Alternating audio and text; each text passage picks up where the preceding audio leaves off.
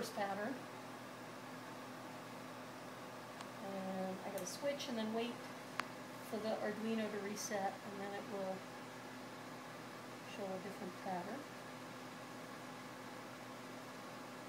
And from above, I really can't see the lights at all. It's too bright, right? No, no, because the, the, the LEDs have a relatively shallow angle Oh, at which they, um, project, so it's very dim to me. no, it's hilarious. See, like when they when I'm recording the movie, like I can see like the lights like being all over the map. Oh, I can see it on the backs of your cameras.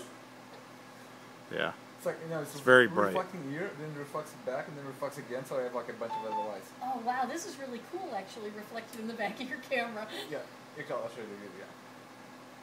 Yeah, you've got like over your shoulder, you've got like ghost lights, like flickering.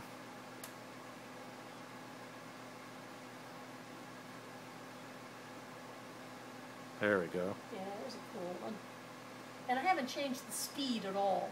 So on the last one, I'll, I'll show you the difference of the speed. Okay.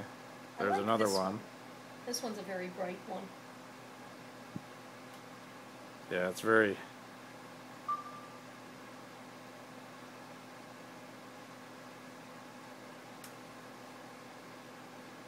Sounds cool. Yeah, I kind of like that one too.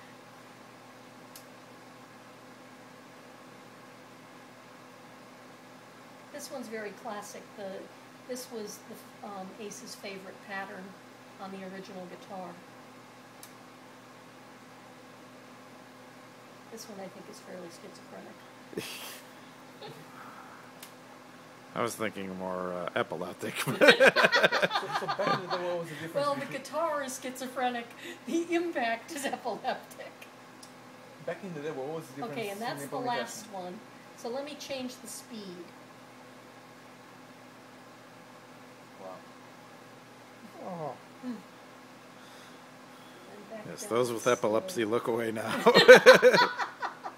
Yes, do not watch this. Do not look at the guitar. And that's my demonstration. Quick question. So, what what changes have you made uh, in this version as opposed to the the version that you've done a while ago? The one for, that Ace owns? Yeah. Well, this one is controlled by a modern microprocessor.